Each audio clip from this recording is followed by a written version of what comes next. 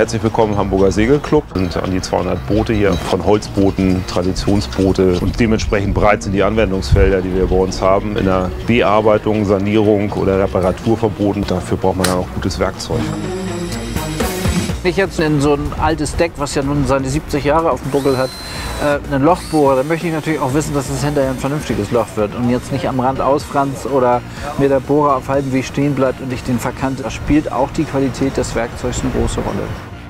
Es gibt verdeckte Ecken im Boot, wo man manchmal sehr schwer reinkommt. Umso besser ist es natürlich, wenn man dann mit leichten und kraftvollen und ausdauernden Akkuwerkzeug arbeiten kann und äh, Genau das macht ja die Bosch Blau-Serie. Man muss es gut greifen können, gut führen können und sie müssen präzise sein, weil vom schwankenden Boot, mit einem wackelnden Werkzeugkopf, äh, dann bohrt man oder fräst man dort, wo man es dann am Ende nicht haben möchte.